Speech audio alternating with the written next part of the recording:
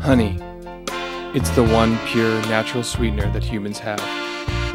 But today things have changed. That purity is being tainted. The evidence is very clear. Starch from rice is being turned into fake honey. Is this really what you want to eat? Find out more at truehoney.buzz.